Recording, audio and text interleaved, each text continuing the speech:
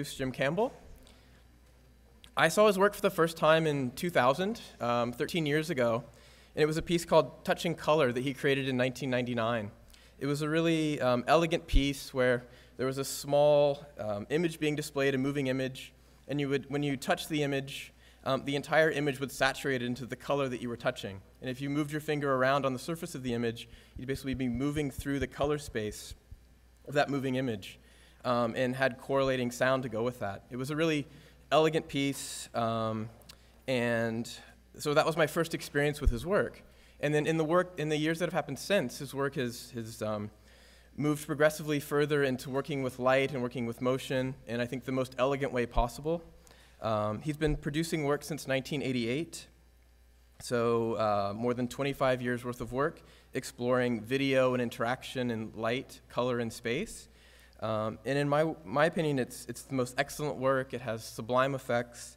Um, and despite the fact, or, you know, he, he's a pioneer in the field, but he's still very much leading it. He's very much still at the, at the, the moving edge. He's extremely active right now, working on a number of um, commissions, also putting on solo shows, working on group shows at a really rapid pace. Um, and I'm looking forward to learning more about his work tonight. So please um, help me in welcoming Jim Campbell.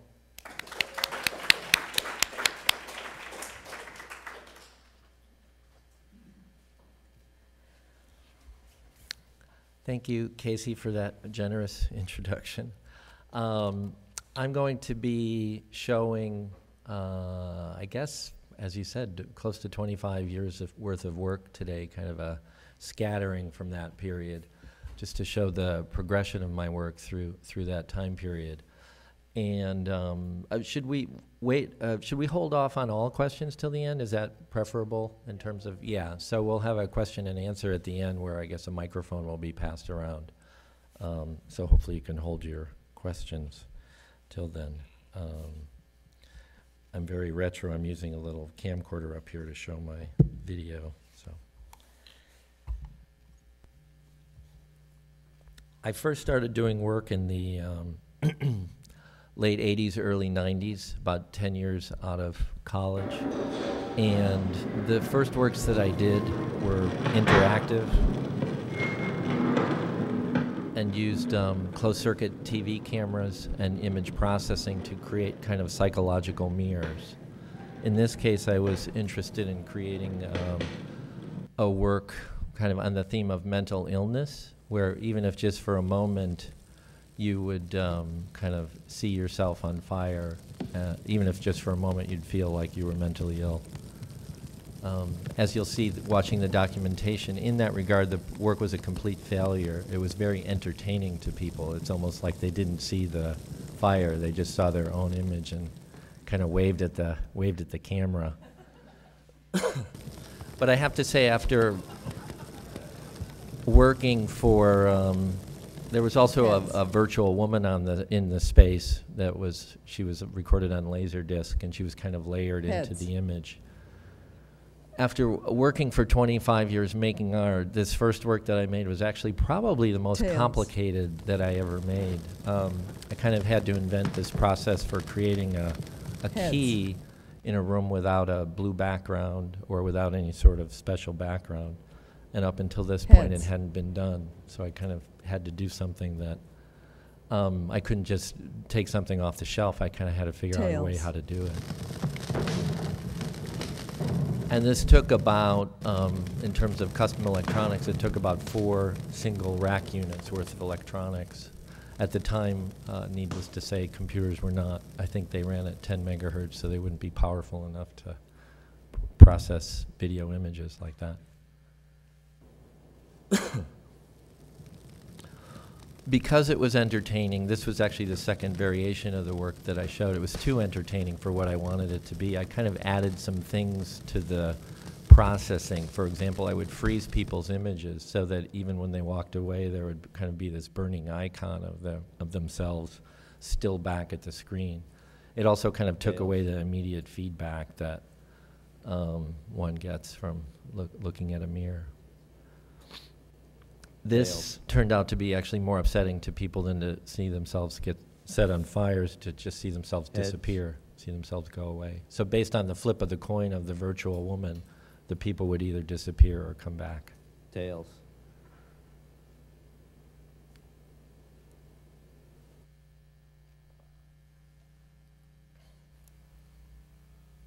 The next two kind of show how people, um, I took about eight hours of documentation, but these two clips kind of show how people chose to interact with the virtual woman.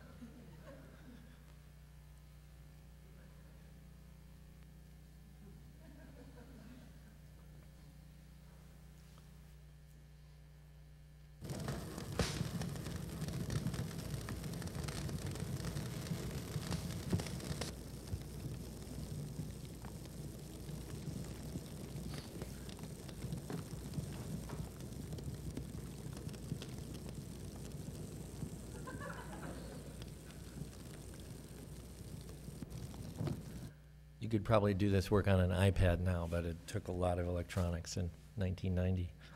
Um, this work was, was kind of an offshoot of the uh, hallucinations called memory recollection.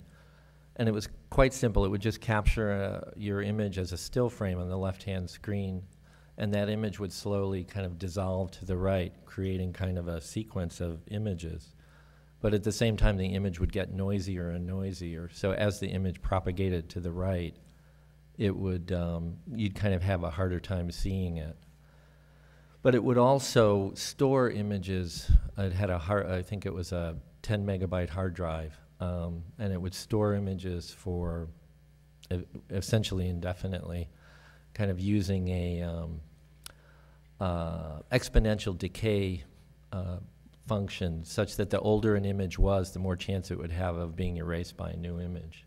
So the work kind of kept track of its history. When you see the work, you see yourself, but you also see the kind of dozen locations or so where the work was kind of shown at other times and people who have seen it. It used a very simple notion for whether to capture a frame or not, other than randomness. It would use it would look for movement in the image so that it didn't wouldn't catch a bunch of frames of empty rooms. this works in a private collection, and when it shows publicly, I'm not totally sure that the collectors really understand that their private lives are slightly shown in the museum, kind of going by. Digital Watch is another work that was kind of stemmed from the uh, first work, Hallucination. I wanted to create a work that would uh, essentially create a mirror where you would not have control of your body in front of the mirror. So it did that in two ways. One is that the um, image within the face of the watch is delayed five seconds, but it's also um, staccato, so it's once every second updated. So that when you stand in front of the work and you move, your image is moving differently than you are. And it kind of disorients you.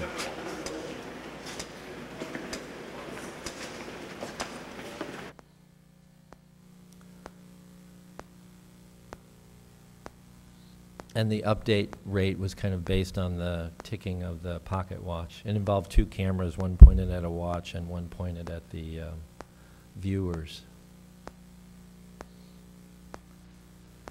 One of the things that I noticed a lot about these earlier works in the documentation was how people would try to essentially figure out how they worked, but at the same time try to kind of defeat the work somehow, make it not work and that certainly um, kind of influenced other works. I would spend a lot. I spend a lot of energy on works that are interactive uh, to make them kind of undefeatable. So you might be able to figure them out, but it doesn't mean you can get what you want out of them.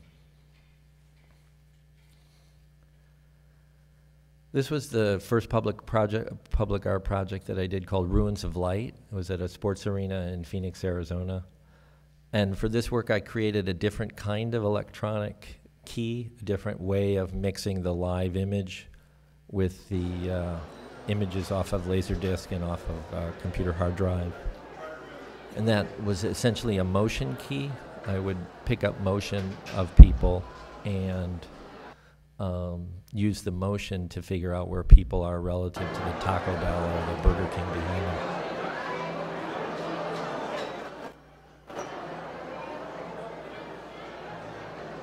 I took images from uh, stadiums, uh, arenas, coliseums from southern Italy and Greece, and brought the columns from these kind of remote locations to this, uh, to kind of create virtual columns in the space. The piece itself surrounded the concrete columns in the space. This was an early work, 1992, and one of the things that I spent a lot of time on was trying to figure out how not to have a video work be a rerun in a space so that people would always feel like they were seeing the same thing. And the, did that in a couple different ways. One was that the work functioned as a clock and a calendar.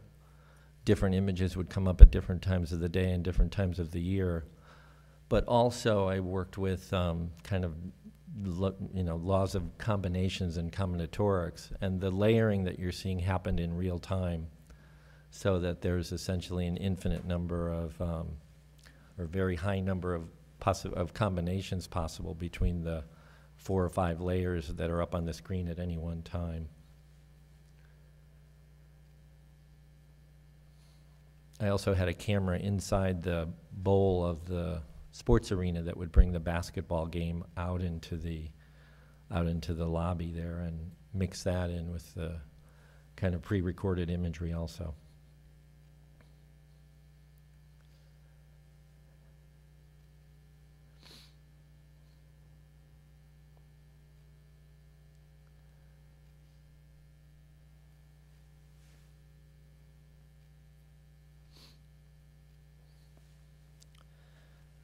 So after working with um, kind of interactive art for, I guess, six or seven years at this point, I decided to do a couple works that were anti-interactive. So this work's called Shadow for Heisenberg, and as you, uh, it's a cube with a statue inside that's lit from the inside, and as you approached the cube, it, the cube would fog up based proportionally on your distance from it. So the closer that you got, the more you wanted to see what was inside the cube, the less you saw. And as you approached it, because it was lit from the inside, the, the object would, the representation of the object would turn into the sh- shadow of the object. this is an example of a work that I spent a lot of time making it undefeatable by the viewers. For example, I would have people run up to it or crawl up to it or kind of try to inch up next to it against the wall and um, playing with time constants and things like that so that no matter what they did, they would never be able to read the text that the Buddha was sitting on. I think the only way you would have been able to do it would be with binoculars and a ladder. And no one ever did that. The material you probably all know, but it's, it's currently called privacy glass. It's a material that is used architecturally to fog a window or clear a window. And mostly I just figured out a way to make it continuous, which it isn't normally used that way. this was a second work that was kind of dedicated to Heisenberg's uncertainty principle, like the previous one, where it's a uh, kind of a life-size projection of these two um, embracing figures at the end of a dark hallway. And as you approach the figures, the, the closer you get, the more it zooms in to the point of abstraction. So that it's projected onto a pedestal kind of in the shape of a bed. And um, so life size, effectively. And as you, uh, the closer you get, the more, it- more it zooms in. Um, up until this point, I'd used a lot of randomness in my work, and with this work, I kind of took a different approach, which kind of a, a big name for it, but at the time I thought about it as subliminal interactivity. So as you approach this image, it would zoom into the part of the image that you approach. So for example, if you walked in towards the feet of the image, it would, it would, uh, of the figures, it would zoom into their feet. If you walked in towards their heads, it would zoom into their heads. And um, I don't think anybody ever figured that out, but that was kind of the point, that there was meaning to what was happening in terms of its progression but it wasn't random, and it was unique, kind of with each with each viewer, each experience. When I showed this work in Helsinki, and um, uh, a woman walked up to me and said, "Why did it zoom into the man's penis?" And I said, "Well, it zooms into the part of the image that you're walking towards." and she actually didn't believe me, and she went back in and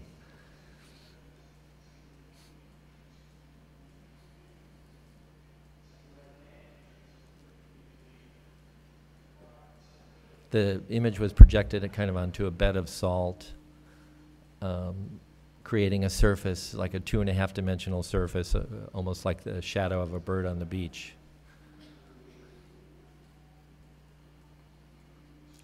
And when you were near it and would walk from one side to the other, the image would actually pan kind of along with you.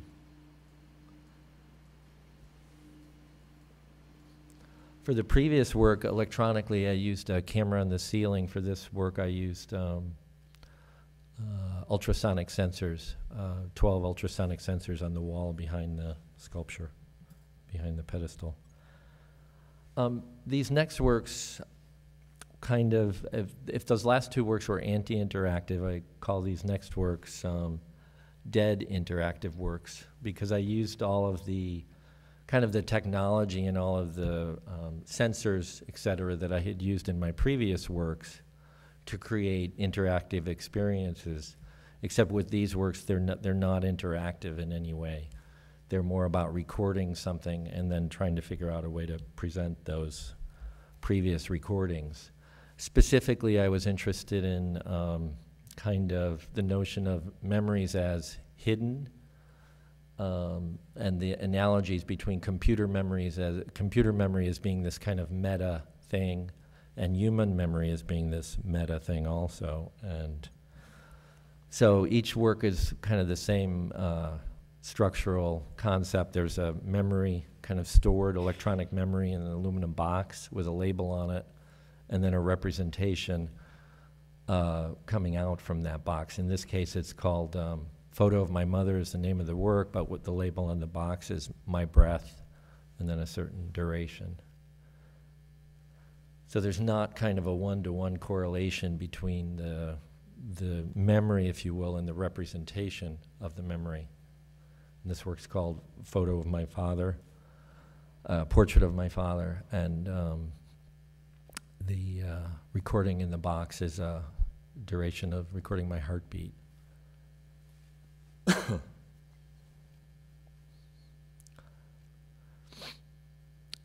so for this work, the um,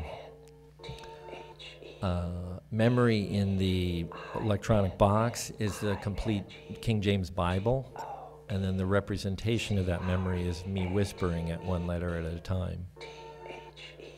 So when you walk up to this work, you hear the Bible being uh, whispered one letter at a time. And obviously, I didn't whisper the whole Bible. I just whispered the alphabet, and the um, it's kind of like the the the uh, memory of the Bible was kind of playing me. It was like play this letter now, play this letter now. Um, this is a similar concept. Martin Luther King's "I Have a Dream" speech, and I typed the 26 keys of a typewriter, and so you hear the speech being typed out one letter at a time.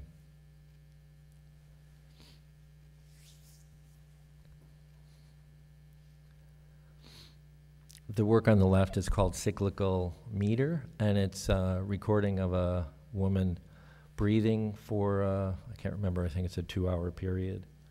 So it's using the it's using the clock as representing kind of the accumulation, if you will, of, of her breath.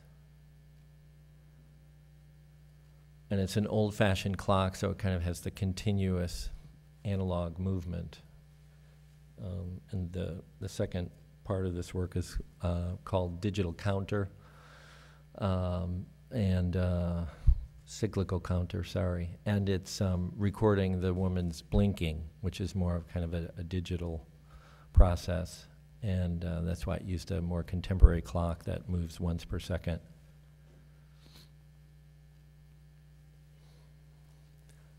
and for this work, I recorded the power line fluctuations in the wall, kind of like when your refrigerator goes on and your lights dim. Amplified that and um, over an eight-hour period on a day when there was an electrocution in uh, Texas. And so you're seeing kind of the fluctuations of the power line from that day modulating that image. Again, I'm using that same liquid crystal display material. In this case, I, I put a accelerometer on my foot walking on the beach. So you're getting kind of a, a simple representation of, you know, what my foot was, the pressure on my, the bottom of my feet.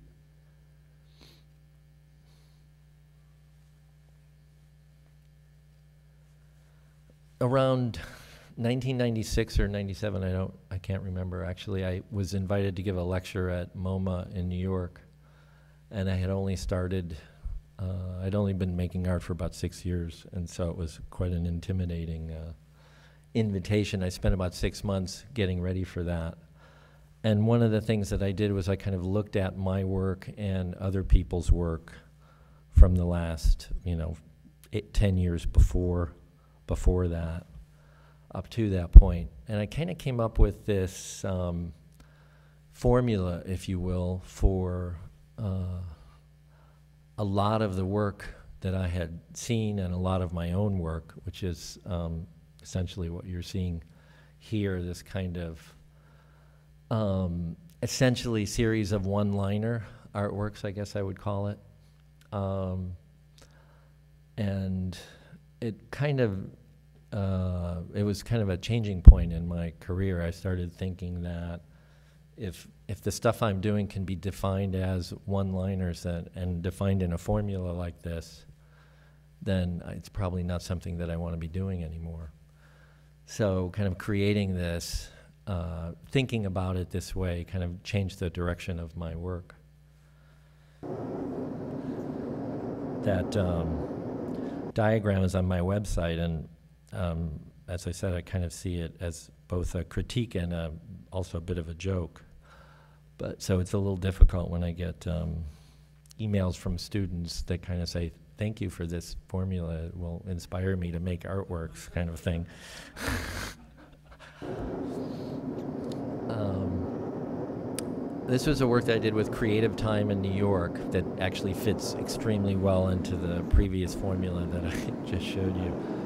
It was a, just a simple candle hung at about eight feet with a hidden camera pointing at it. And I generated an extremely loud windstorm based minute, just based on the minute fluctuations of the candle. Um, so it's an, essentially an audio audio work. Um, and it was kind of an interesting work. It's one of those works, and I have had a lot of those works where 50% of the people who walk in completely get it, and 50% have no idea what the, what the work is about. Um, if you actually focused on the flame for a little bit and you made the correlation between the wind sound and the flame, it became kind of a meditative piece. If you didn't take it that far or didn't see that correlation, it was kind of a very boring piece it did become sl- a slightly interactive work. The candle was about at about eight feet, and people would jump up and try to blow it out, and that would create this incredible kind of sound in the space. So even though I didn't plan it that way, it's kind of the way that it ended up being. I tried the same work with um, controlling the light in the space versus the sound in the space, and I found that by far the um, kind of the transformation of the senses, if you will, taking something that you're looking at and turning it into a, a sound versus just taking an image and magnifying some aspect of that image in the visual realm um, didn't work anywhere near as well as kind of transforming.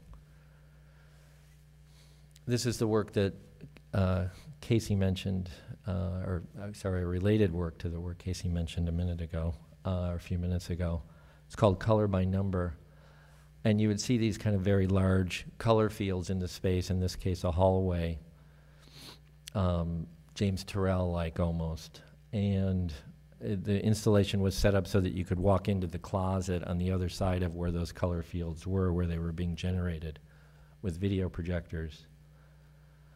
And as you, um, and directly across from these two color fields in this kind of little dark room were these two uh, LCD screens with stationary images on them. I should say almost stationary images on them, except for a single pixel that's moving across, scanning, scanning the image and mapping that color to the screen that's now behind you.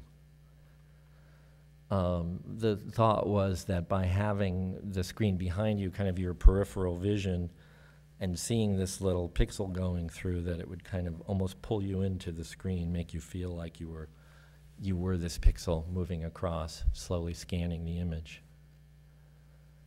This was definitely a work where 50% of the people got it, or maybe 40% of the people got it, and the other 60 had no idea. Uh, they didn't make the correlation between the moving pixel and the large color field behind the, the screens.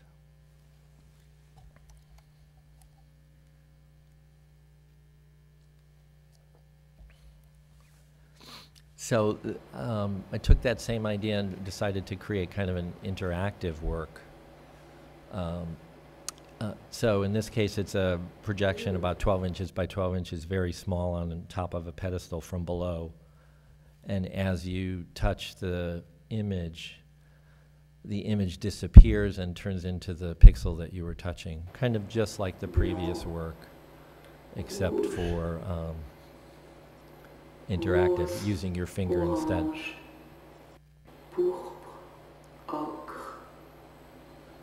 Both of these works kind of go back to the, if you will, the Heisenberg notion of the earlier works, uh, of those other two works, meaning that, um, you know, you can, you're exploring the image that you can no longer see. And I specifically made the sound um, out of phase with the, um, not out of sync, but out of phase with the image. So that as the image fades out and turns into a single color, the sound fades up.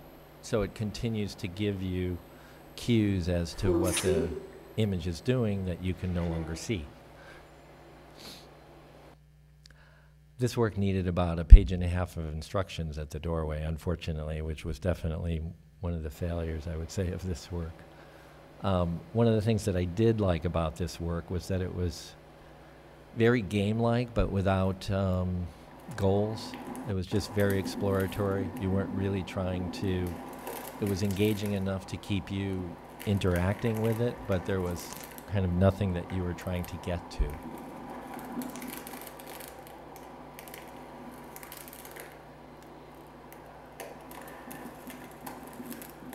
And this was kind of the beginning. These two works were the beginning of my uh, obsession, or whatever it has been, with the with the pixel.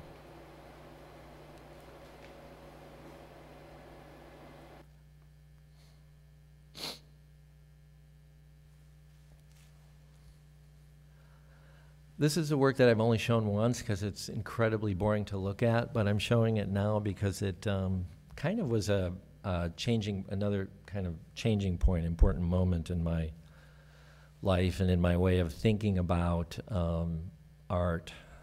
In particular, it's a um, it's a extremely simple algorithm that generates all possible images.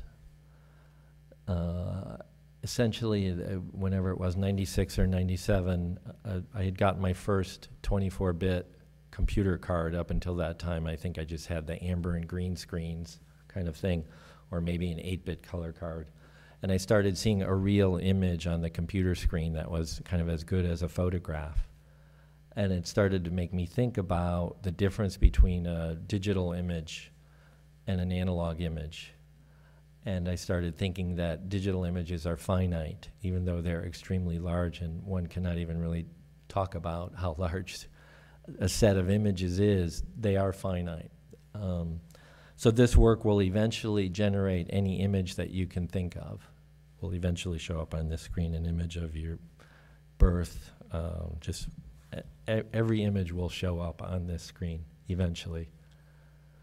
And that kind of freaked me out, and that that was another um, thing that I've got some weird thing going on with the projector here and my camera. Um, see if uh, resetting it will do. I'm plugging it, plugging it in. That started me thinking about moving away from the digital. And uh, being an electrical engineer, I started to think about the process of going from, sorry about that, um, going from the analog world to the digital world, and what in that process could I kind of explore um, in an analog way, but still work with digital, uh, digital images, if you will. And so I started to think about, in this case, uh, filtering that happens both into and out of, the filtering that goes, that happens when you take an analog or the real world and you try to bring it into the computer, or you take the, something digital in the computer and you try to bring it out. You have to filter uh, the, the signal in that process. Um, and that started me thinking about ways of looking at physically changing digital images. So this is one of the first, this is kind of considered to be the first pixelated digital image made, or one of them anyway. It was done by a scientist at Bell Labs in the early uh, 70s. And what I'm showing you here, it, it, what I started to think about at the same time was the fact that there is no such thing as a digital image that um, if you really look at what the you know definition of digital is, and I think it's more than just a semantic distinction. Um, there's no such thing as a digital image. There are only really images that at one point were digital. So, for example, here you're looking at the same digital information being presented to you two different ways. And you can see how drastically different they look just by uh, looking, playing with kind of the way of taking that digital data and putting it out into the world. And with those two images, you can't really say uh, which one's more accurate. Um, they're just two different ways of representing the same information.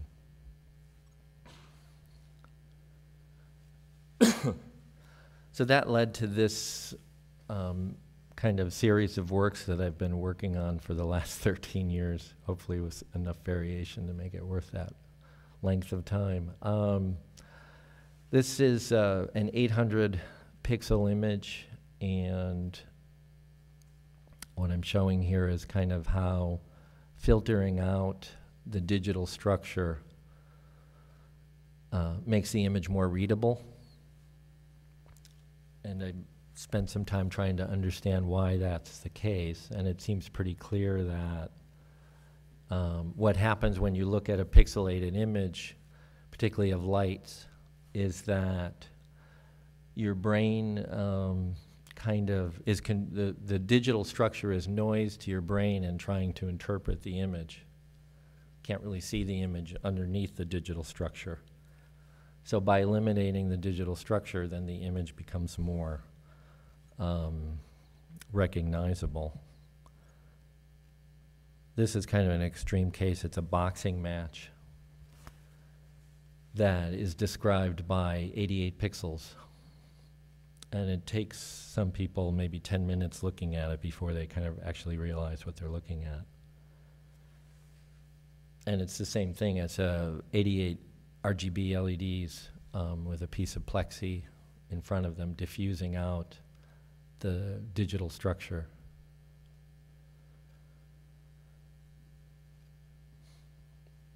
This one I was able to do at a much lower resolution than most of the stuff that I do, and that's because it, I used RGB LEDs. So there's actually three times the amount of information per pixel, if you will. So if I had done this same work um, in black and white, the same image, I should say, um, I probably would have needed at least twice the number of pixels, maybe three times the number of pixels for one to be able to recognize what the image was.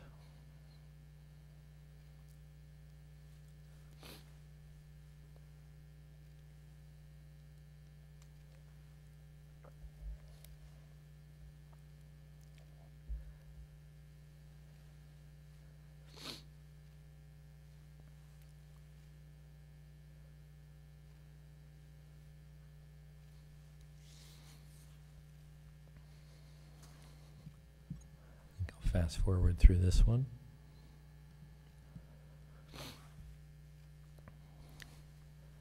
So I, I work a lot with um, diffusion filters that are effectively, um, in the kind of electrical engineering terminology, uh, reconstruction filters, ways of taking the digitized image and making it an analog one. In this case, the, it's a plexiglass diffuser that's angled close to the LED screen on the left and far from the LED screen on the right. So within the same image, the image gradually goes from a discrete representation on the left-hand side to a continuous one on the right-hand side. So the figures and the and the uh, cars, the traffic going by, are kind of going almost gradually from one representation, if you will, to a secondary type of representation.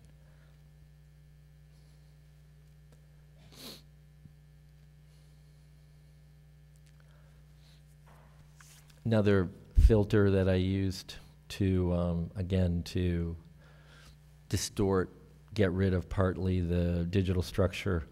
This one consists of a two and a quarter inch piece of resin that has um, small particles, raw pigment suspended in the resin. And so that it's kind of like uh, a uh, flashlight in a smoke filled room.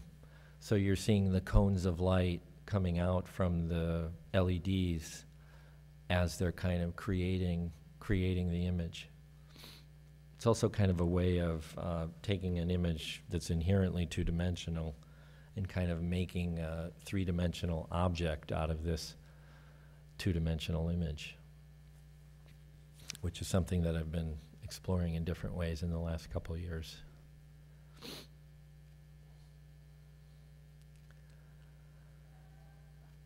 It took a year of uh, one of my assistants playing to get the formula right of what was what was actually suspended in the resin, so that it didn't um, get rid of too much of the light and had the right amount of dispersion. This, um, in terms of information, goes even further. It's just defining an image by its peripheral pixels I think it was 52. Um, and then the front of it is just black velvet, so it kind of turns into a void. And this is a work that um, one aspect of it, which I've turned into other pieces since then, is that it's called a fire, a freeway at night, and a walk. And um, if you don't read the title, then you won't know what it is that you're looking at. But if you do read the title, then you do kind of have a sense of what you're looking at. So it's the kind of minor cues of a few words that help you to, to see the represented image.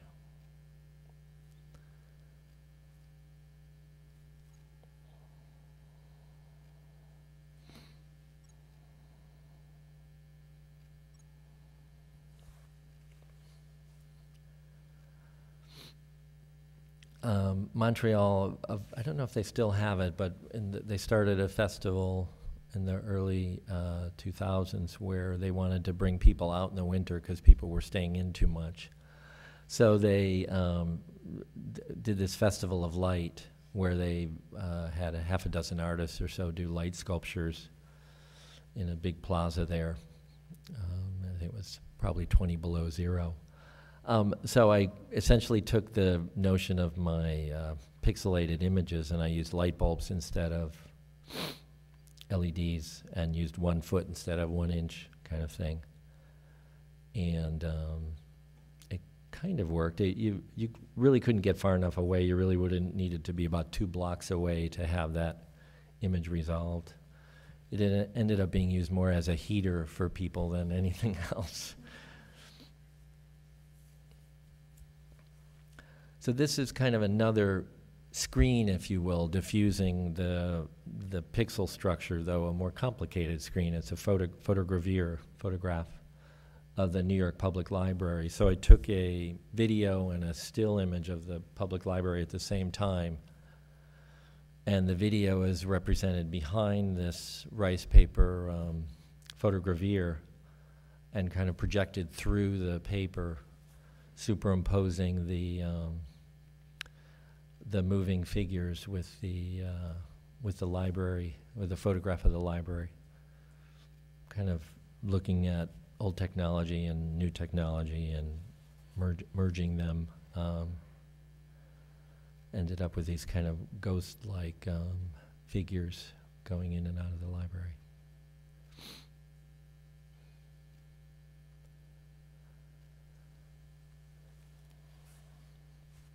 This was the uh, first of the ambiguous icons that I did, and it's called Running Falling. And what I want to try to show you here is how important movement is to these um, low resolution works that I've been working on for a long time. And that images at this low resolution are actually almost completely incomprehensible when they're stationary. And the, the pretty much the main reason that we're able to perceive or, uh, or understand what it is that we're looking at is the fact that they're, they're moving.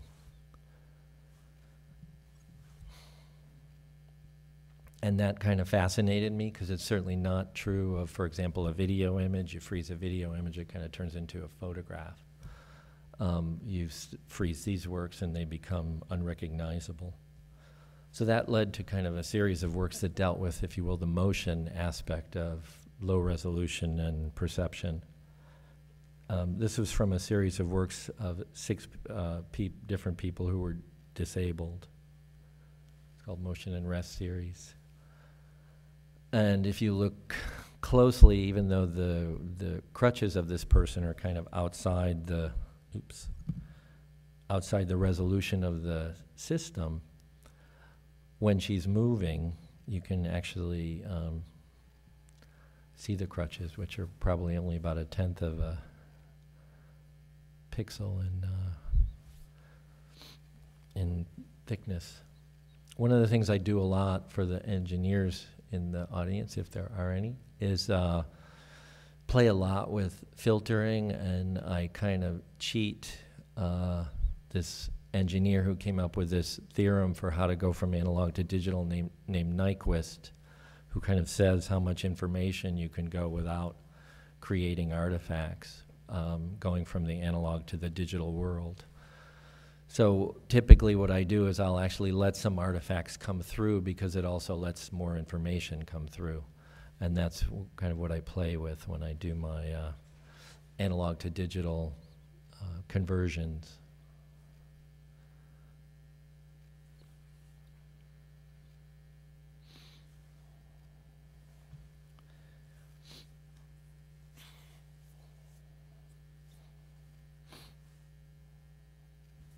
One of the things that I was interested uh, that I chose this medium for this topic was that um, one of the things that it does is it kind of um, gets rid of all of the details about the people. You can't tell whether they're men or women or what kind of clothes they have on or hairstyle.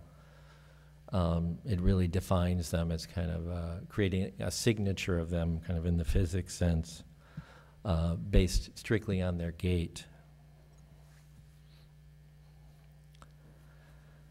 So in that sense, they're perfectly unpolitically correct works because they're defining these people by their disability. Uh, so this work was kind of an experiment. It, it's like uh, taking that notion or that hypothesis, probably too big of a word, that these images are understood because it, through their movement um, this work of ocean waves is a, I think it's a 20 minute cycle. Over a 10 minute period, it gradually slows down and stops. And what I'm doing here is I'm showing you different sections from the different time period, from the different periods of that 10 minute cycle. So if that, you know, theory, if you will, is true, then in the beginning of this cycle, this image will be completely recognizable and 10 minutes later it's going to be completely abstract. So just by changing the, um, uh, the speed of the image, uh, it goes from completely representational to completely abstract. One of the things that I kind of thought about then was that it, kind of, low resolution images in a way uh, have a strong connection to audio in that regard, to sound. If you take a sound which is inherently defined by movement and you slow it down and you stretch it out, the more you do that, the more the sound becomes abstract because it's defined by movement. And the same is true of um, these low resolution images.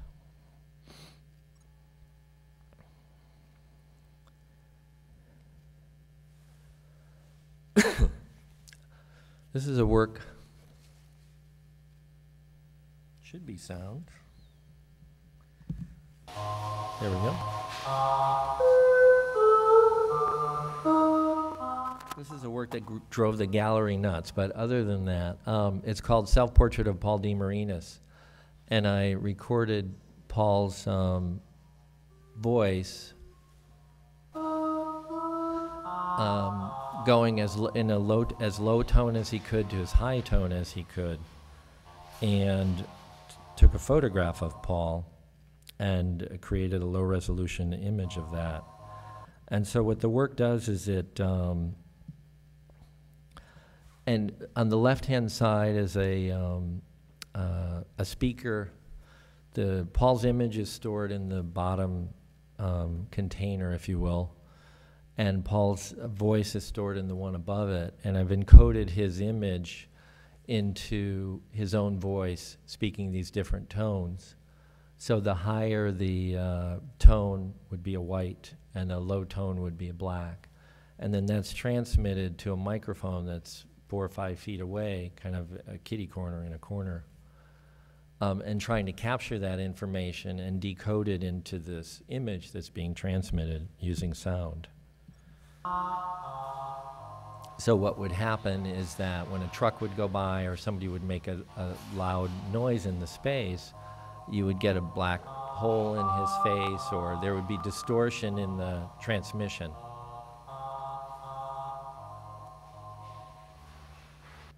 And it really did drive the gallery nuts, but um, this was uh, also started out as a series of kind of just experiments, ideas, what would happen if. Um, and in this case, it's what would happen if if I took all the frames of a video or a film and compressed them into a single image using averaging. And so this is the the film Psycho, uh, averaged uh, all however many 54,000 frames, averaged to uh, into a single single image. And um, because Hitchcock used uh, this was actually the first one I tried, but it was also in some ways the the best one I tried. Um, because Hitchcock used very long shots, you can see things like a, a on the left-hand side and a telephone on the right and a lamp on the right, because those images are in the film for probably five minutes. The other image that you can see here that's kind of interesting, that's a, uh, much more abstract, but the first half hour of the movie is Janet Leigh driving and a shot of her through the windshield. And if you look at the center of the image, you kind of almost see a skeletal uh, shape with kind of almost two eyes there, and that's kind of the averaging of her. Obviously, not as clear as the other things because A, she's moving, and B, the shots of her change a lot.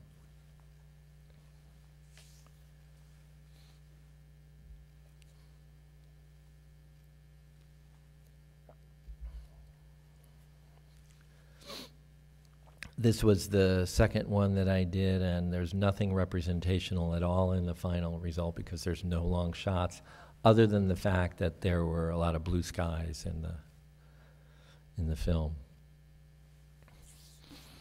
So, as with a lot of things that I do, I, after I kind of used existing uh, imagery or found things, uh, kind of convert, turned that around and I started taking my own videos using the same concept.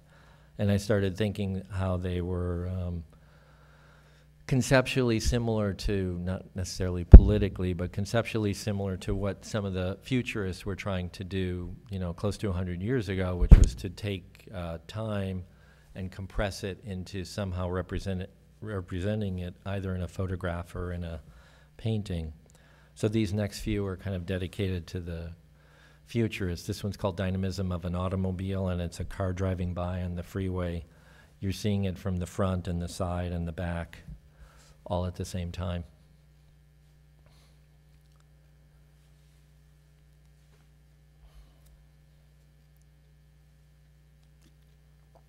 And this is uh, the same concept with a bicycle. And they, I can't remember, but they're two to three minutes long in terms of the kind of the length, the duration of the video.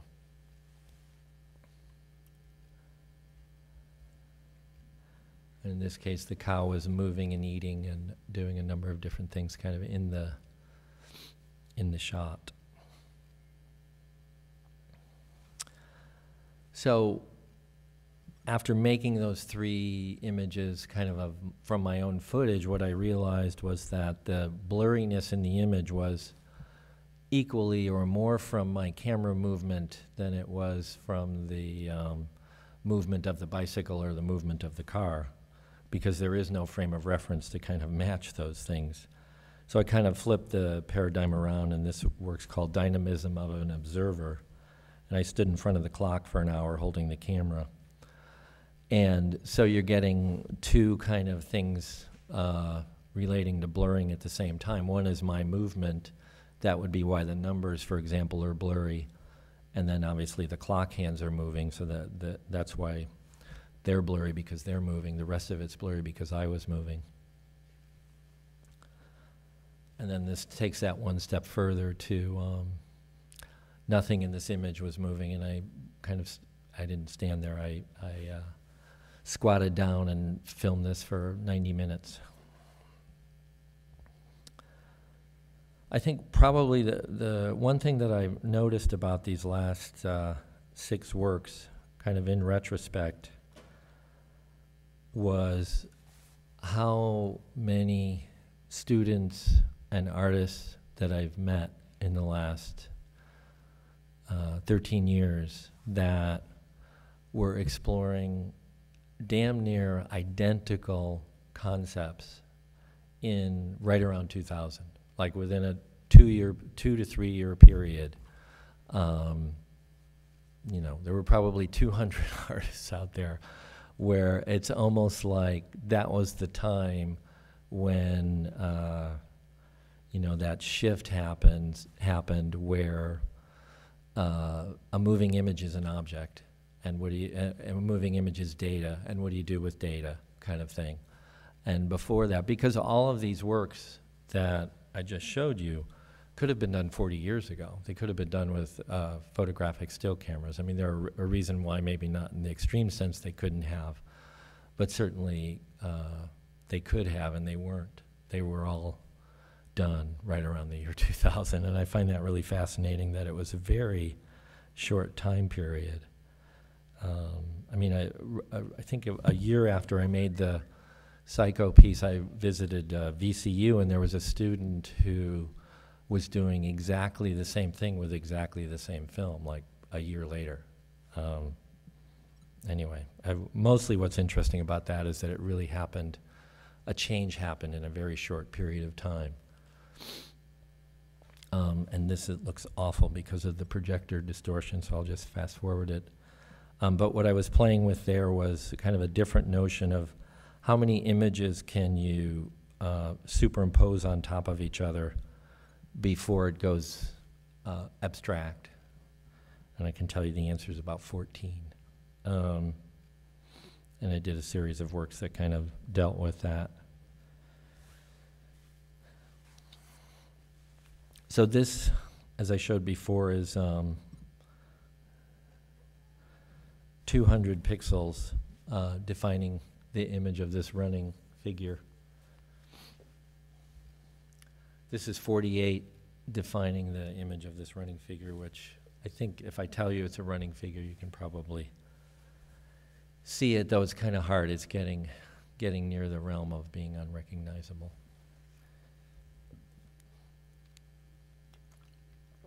And this is a, a single pixel of that same running figure.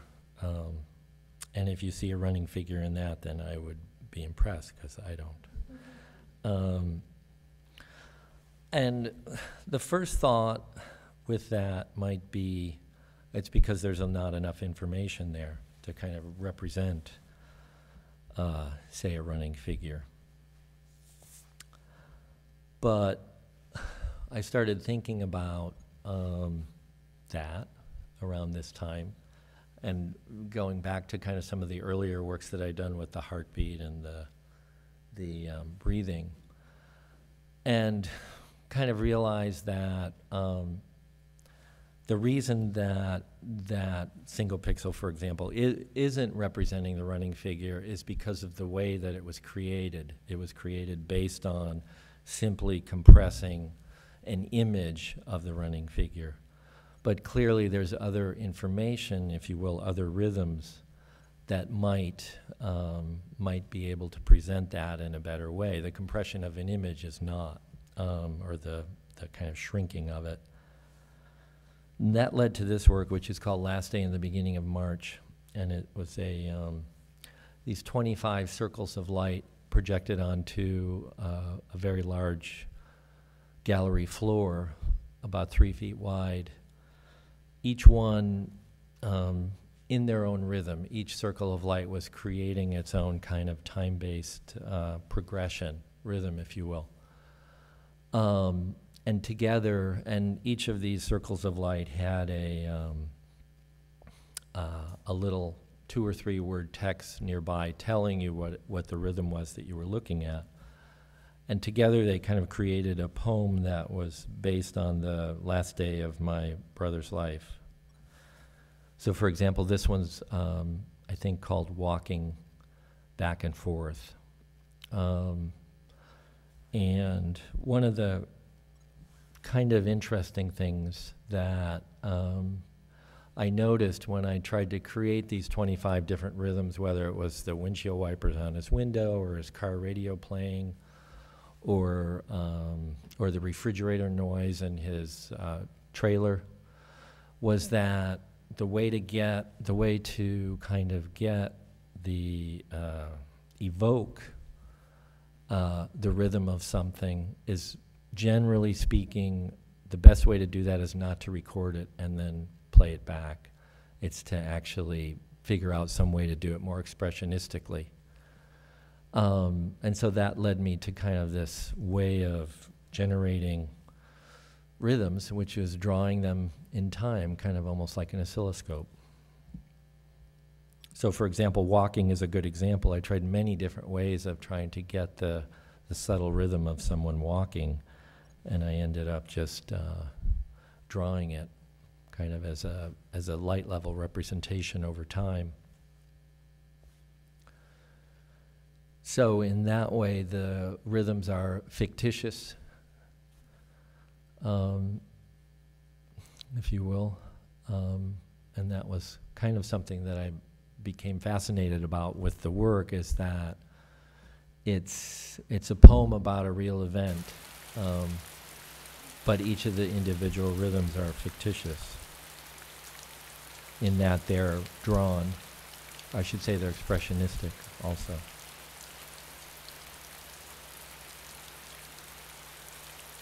So together they kind of create a narrative of that day.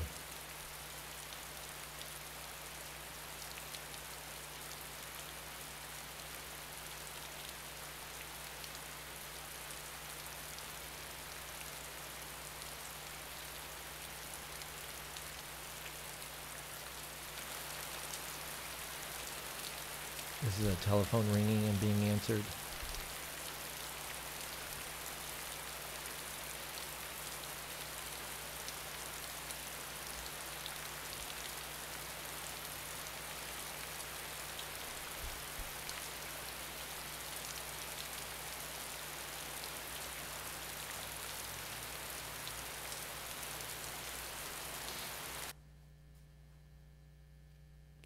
So it's it, one of the things about that work that obviously became extremely important was the the text, Otherwise, you would have walked into this room with 25 lights that were each kind of doing their own thing, and it's not that it wouldn't have any meaning, but it would be relatively abstract.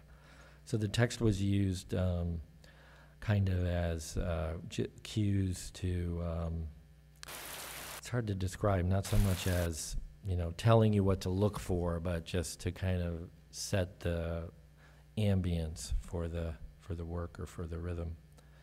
Um, the, it, it was an interesting work because it, um, I think, it was uh, if you uh, could only call it a work of visual art, but it, the your response to it was anything but visual. In fact, it was more about peripheral, if anything. It was more about feeling the presence of something in there with all the rhythms happening, than it was about looking at 25 lights that were just changing.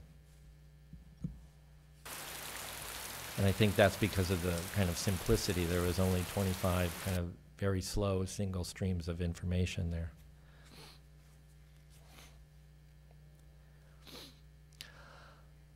For this work, I wanted to create a clock that you didn't have to set. So it has um, a nothing more than a light sensor that go that is set outside, and it gradually phases itself to the rhythms of the of the sun.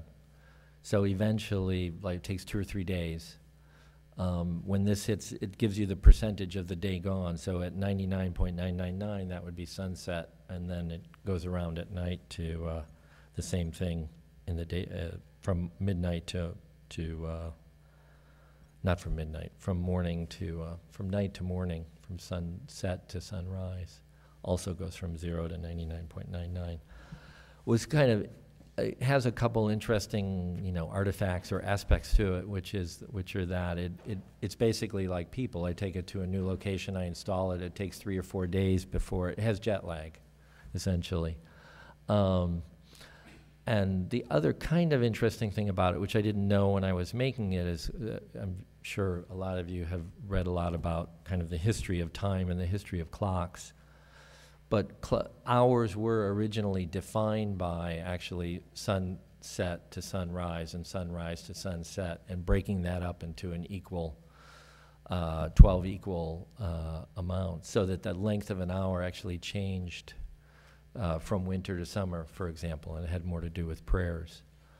Um, so this work has that same notion. It speeds up a lot in the daytime in the winter, and it slows down in the daytime in the summer.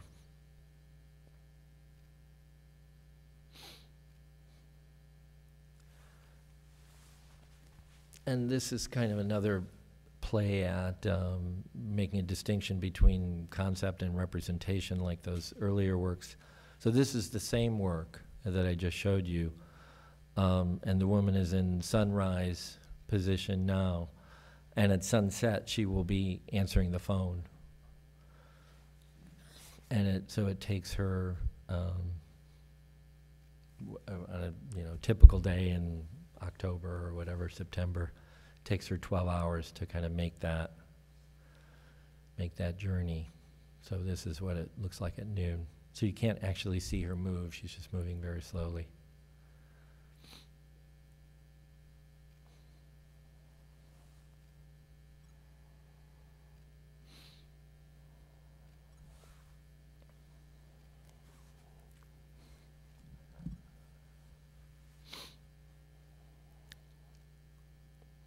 I created a series of works that um, kind of mixed two notions that I was interested in, back to the Heisenberg notion, um, and also the low resolution. So in this case, it's a series of suspended pixels in these kind of columns facing the wall. So each pixel is projecting its light onto the wall. But the only way to see the image is by looking through the display device, is by looking through the little set of circuit boards that are there, unless you look at it from the extreme side like this, and then it's obviously extremely abstract. So the, the um, image that's the display device is, is um, getting in the way of, of viewing the image.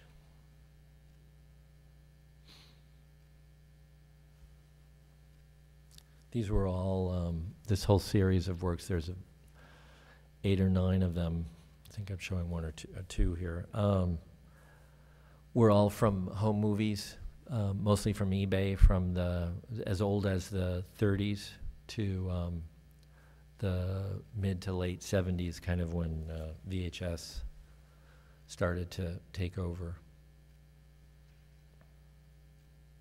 So one of the things that happened um, with these, one of the reasons that I chose home movies, and there's some of you in the audience that have seen them, I presume that are my age, um, it was that I was shocked at how every home movie I got from eBay kind of looked alike. Didn't matter where it was from in the United States. You know, all, they all had Niagara Falls. They all had birthday parties. So one of the things that happens with these works, because they're low resolution and because home movies were so typical, is they kind of become universal. When you see these, I should say, if you're my age or maybe 10, 15 years younger, when you see these, they could be your home movies. I mean, they really, they were that similar. And the, the works themselves get rid of kind of just enough resolution so that um, there's no specifics in the images that you're looking at.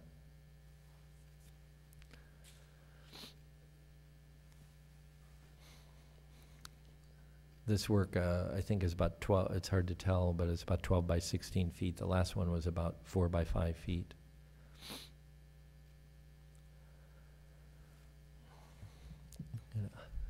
It's getting a little late. I'm going to fast forward through a couple public artworks.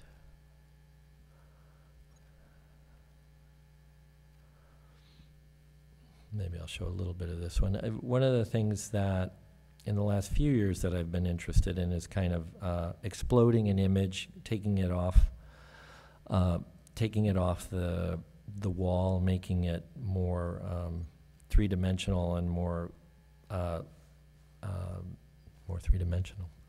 Um, so in this case, the work consists of this uh, kind of grid of cubes presenting an image uh, of ocean waves. It's at UCSF in San Francisco, which is near the ocean, called Ocean Mirror. But conceptually, if you took out, or structurally, if you took out the seven uh, horizontal row of cubes in this work, I mean, in this screen, and you spread them around, and I spread them around the um, this kind of garden area, so that when something happens in the image, um, you kind of see the whole garden, you kind of see it happen in the whole garden at the same time. It's kind of a stretching, if you will. So you're actually seeing the, the waves in these kind of individual pods. They're kind of broken apart and spread out.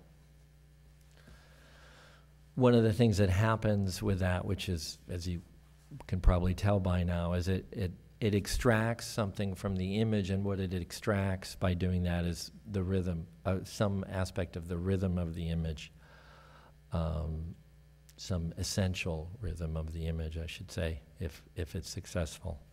So you're seeing these pixels on the ground, or a group of pixels on the ground, but they are, um, but you can't really see the image, but you can kind of feel it, I guess would be the other way to say it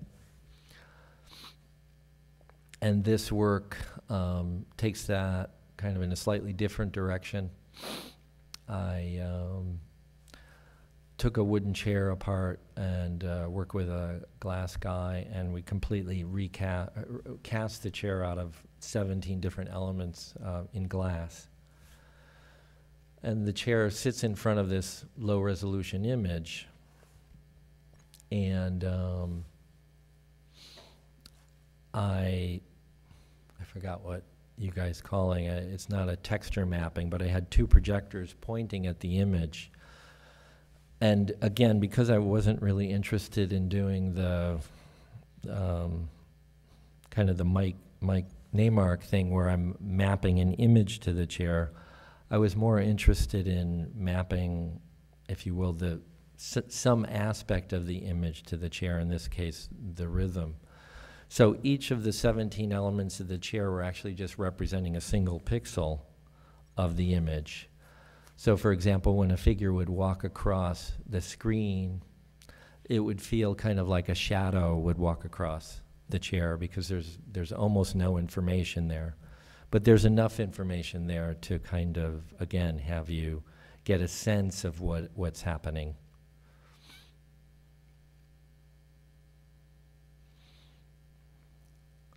This had two projectors pointing at it from kind of kitty corner angles. And as it seems like some of you guys have played with the same thing, it took two or three days to create the masks and hope that the projectors didn't move after we created the masks. After spending two years making that, somebody actually sat on it in the gallery and broke it, and I almost started crying when I heard that from the gallery. Um, for many years, I'd wanted to create a work. Um, you've probably heard me talk about it. Very interested in peripheral vision, I think, because of its primalness. Um, and in fact, a, a, lot of the low resolution works for me are kind of um, connected to primal vision um, because they are eliminating all of the kind of analytical stuff that your brain is usually involved in when you're looking at an image the edges, the colors, this, that. It's just there's this very simple information coming through. Um, so this work, what I was trying to do was to create a uh, kind of a representation of peripheral vision. So it's the same technology that I showed earlier with the suspended pixels, but it's very high density on the left-hand side and low density on the right-hand side. So it goes from kind of high resolution to low resolution and it's just a, a taxi ride in New York, and um, I kind of it, it felt like pointing out the window of a you know the passenger side of a car is uh, whether we're aware of it or not is probably one of the times that your peripheral vision is most activated with all of that motion going by. So it seemed like the kind of the the perfect uh, match for the content of this this image.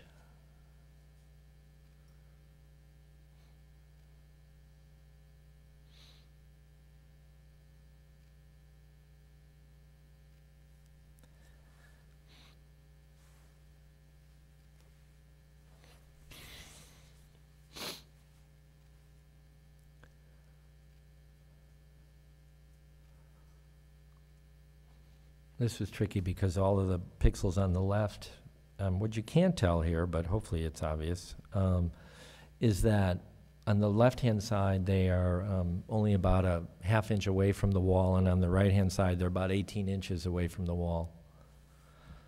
Again, so that the image is kind of just filled in. And because of that, the, the LEDs on the right-hand side are about, you know, 100 times brighter than the ones on the left-hand side to create the same perceived amount of light. And this is the last work I'm showing. It's a public art project that I did in uh, Madison Square Park in New York. And the, the notion here was to take a two-dimensional image and stretch it into three dimensions. And so it's made out of, uh, what was it, uh, 1,600 light bulbs uh, in this kind of two-dimensional, three-dimensional matrix, um, but it it's effectively a two-dimensional image. Um, and for example, if you saw this image and it was perfectly aligned from, say, you know, half a mile away, what you would see is a perfect XY grid of lights. Yet when you look at it from the side, it's randomly spaced and 12 feet deep. So once you start getting beyond about 15 degrees off axis, the image is incomprehensible because um, it kind of it's pointing a certain direction, and when you're looking at it from the side, you can't look at an image from the side, so or a two-dimensional image.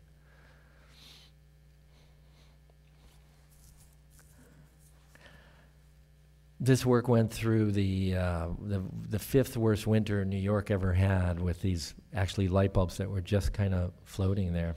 Um, and we broke about 600 in that period. Um, but, you know, I was afraid after we installed it and we saw the winds that it could easily break all of them kind of in one day. So I, I thought in that regard it was pretty successful. Um, for that work, we took all the, uh, I shouldn't say we, I should say my assistants took apart 2,000 light bulbs and put LEDs inside um, so that instead of renting a semi-truck generator, semi-truck trailer generator, the whole work drawed um, less power than a half of a toaster oven. And I will end there, and hopefully we have some questions with a microphone.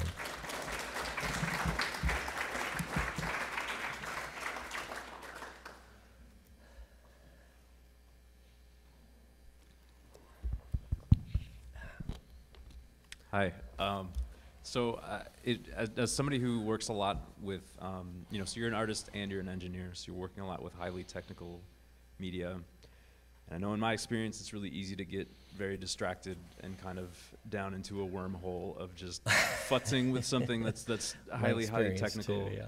Um, so can you talk a little bit about sort of how you balance, you know, your ideas and your artistic vision against the sort of um, black hole of technical yeah, complexity? Yeah. Um, I think, uh, you know, I, I don't know if I've ever gotten asked that question before. It's a good question. I think I kind of end up breaking it up schedule wise almost into three parts, and it ends up working best that way because it's about focusing, changing, focusing again, and changing and focusing again. And those three parts are kind of concept, what I want to do. Um, and then that gradually fades into how to do it. And then I just, you know, write my hardware code in Verilog for a couple months, uh, depending on what it is. Um, and then usually what happens, and I'm, you probably have the same experience, is that process will slightly change, you know, the original concept. And maybe it's because I'm an engineer, maybe it's just because I'm a nerd. Sometimes I have a hard time. I'm better now than I used to be of going with that change, even if it kind of seems seems better. Um, and then the end result is actually putting it all together and then you know if you will most of the work kind of fits into that putting the content into it and then exploring that. Kind of the interesting thing and the difficult thing of the low resolution works in particular is that most images don't work in that realm. They have to have a certain certain characteristics to them. So they're very limited unfortunately. Um, and so i might have an idea and i'll build something and I'll try it and it just doesn't work. It just it technically doesn't work. So it's kind of going back and forth. But what I do find and what you know as advice, what the advice that I would give is to not go back and forth between kind of the creative and the electronic creative on the same day or even necessarily in the same week is to kind of give yourself blocks to do that because it's really hard to kind of shift gears and stay focused and um, so I didn't repeat the question. Was I supposed to repeat? Oh, okay. Okay. Um, hi. So since you seem to be use or since your thinking seems to be quite um, sort of like centered around signal signals and signal processing in a way, um, is, is is there some sort of like new or if you were to make sort of completely new work now, would there be some sort of like technical advancement or scientific advancement in, in this field that you would sort of like consider investigating?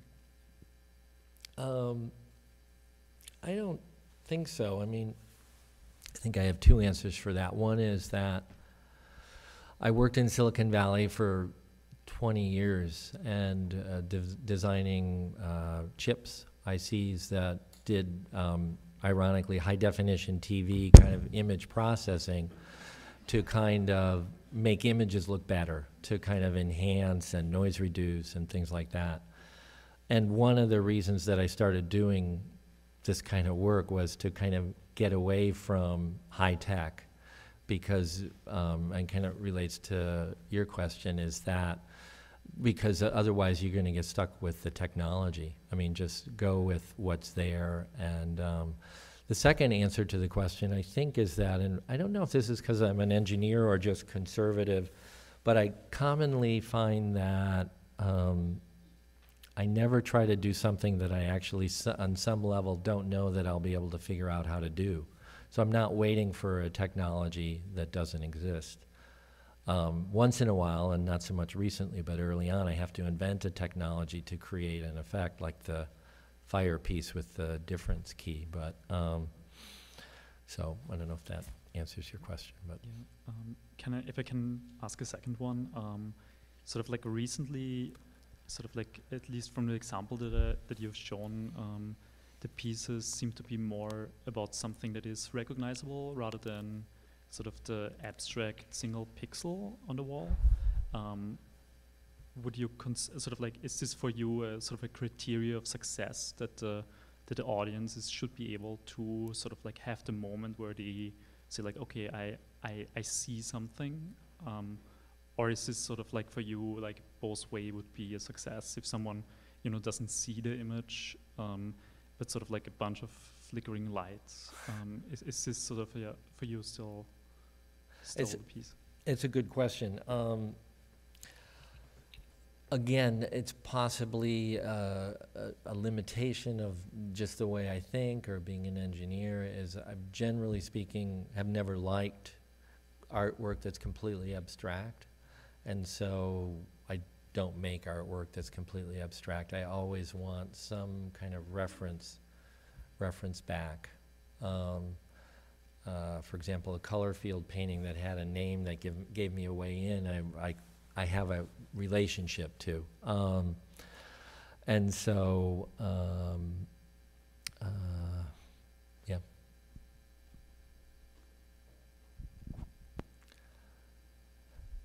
But to, one kind of, some anecdotal uh, answers to that are, um, uh, some of the public works, like the work at Madison Square Park or a work that I did, just did at SF MoMA, I'm definitely thinking about them as at least being partially recognizable. And because it's impossible to really simulate those works, I actually don't know 100% if they're going to work when I'm finished. So when I first plug them in, it's and uh, it's uh, every time except for once. it's been a relief that it's kind of as recognizable, at least as I wanted it to be. Um, but the other thing is, I, I am working, heading more towards um, kind of the work that I showed last day in the beginning of March with the circles of light, which was certainly the most abstract work that I've done. And I am, am kind of heading more in that direction of, of simple, I guess I would say, or simple representations or more kind of primal relationship to what it is that you're kind of looking at. Um, okay, so my question is kind of about how you're using art and technology, and then what. Sorry, I didn't, Just it's just um, relating to how you do you, you you know doing art with these technologies, new technologies, and how do you kind of wrangle, you know, the artistic idea and then putting that into, you know, these abstract forms of light. Like, what's your process when you when you come up with something in your mind like of what you want to do and then how that process kind of Yeah. unfolds you Yeah. know and Um, usually, uh, again, maybe it's because I'm an engineer. I'm using that phrase a lot tonight. I usually don't. Maybe it's related to the questions. Um, I think about something, unfortunately, for two or three years commonly um, before I actually do it. And uh, again, back to your question, hopefully, because I've thought about it for so long, I'll still be open to changes in the process. Um, but one of the things, certainly, for example, a number of the, the low resolution works that I showed, I created this technology 10 years ago, at least the ones that are kind of the typical with the panel on the wall. And so I can, that's kind of, you know, a computer screen for me now. I don't need to redesign that. I can just think about what kind of images, images that I'm interested in putting into that.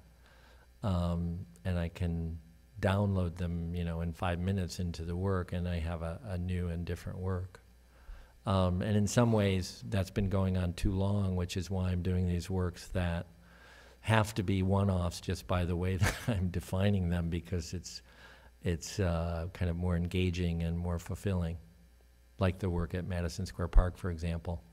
And for that work, um, because I, you know, I'd never seen any work like that where you take an image and you stretch it out in the z dimension and will it still be recognizable? So we actually built a, you know, a functioning maquette that was essentially this big, um, just out of little suspended LEDs to, s- to see if it would work. Um, and then, you know, stand, this is where it kind of gets fake, stand two feet away and pretend that's, you know, 50 feet away and, you know, forgetting about stereo vision and all that. It just, there's no way of kind of predicting, but I did do uh, kind of a, a sample of that. And then spending, in that case, four months on just technology. You know, the idea's there, put that away for a while, and then explore technology. And through that process, then I start to think about what kind of imagery I might want to use on it, and then um, so that by the time the technology's done, I'm kind of ready to play with some imagery. But I do, um, because of my process and because there's this, for those kinds of works, there's this long uh, technological uh, process.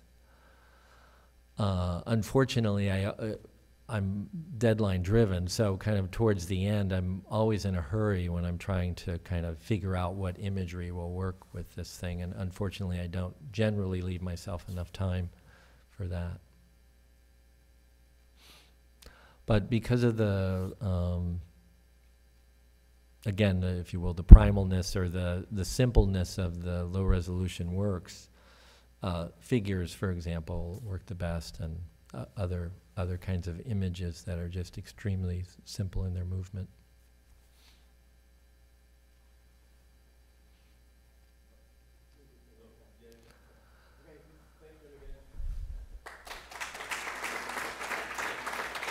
Thank you.